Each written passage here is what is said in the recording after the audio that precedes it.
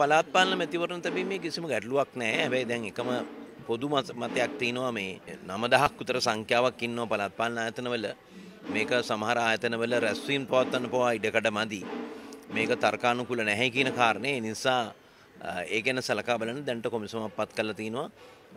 කොට්ටාස් ප්‍රමාණය 5000ට මදක් වැඩි වෙන මට්ටමින් නවතා ගන්න. එතකොට කොට්ටාස් පදනමින් පමණයි මැතිවරණ පැවැත්වීම බොහෝ දිනකට යෝජනා වෙලා තින්නේ. ඒ කටයුතු අවසන් කරගන්න පුළුවන් වෙයි ඔය කියන කාල සීමාවට කලින්. මැතිවරණ කල් දාන්න ඕන කමක් නැහැ.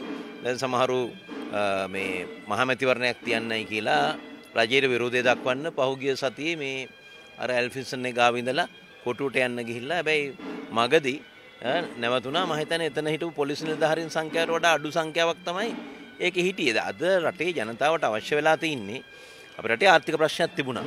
අදත් තියෙනවා. ඊළඟට ඒ පසුපස ආපු සමාජීය ප්‍රශ්නයක් තියෙනවා. ඒ පසුපස එන දේශපාලන ප්‍රශ්නයක් තියෙනවා. දේශපාලන ප්‍රශ්නයට දැන් යම් ආකාරයක රටේ ජනාධිපති ධූරය සහ ඇමති ධූරය ඒවා වෙනස් වෙලා යම් තැනකට ඇවිල්ලා තියෙනවා.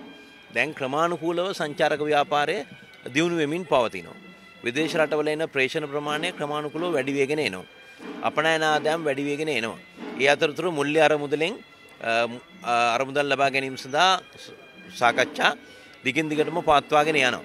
ඉතින් මෙන්න මේ තත්ත්වයන් එක්ක අපේ බලාපොරොත්තු සහගත විශේෂම ගොවි ජනතාවට අවශ්‍ය පෝර ටික දීලා ඉස්සර වගේ ගෑස් පෝලින් නැහැ, තෙල් පෝලින් නැහැ. ඒ තැනට ඇවිල්ලා තිනවා බොහොම අමාරුයි.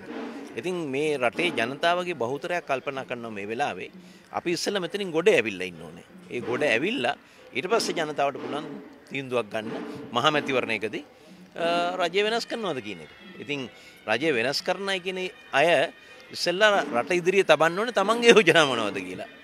තමන්ගේ කිසිම වැඩපිළිවෙලක් නැතුව තීන තත්ත්වෙනුත් පල්ලෙහාට වැටෙන්න මම හිතන්නේ කවුරුත් කැමති වෙයි කියලා.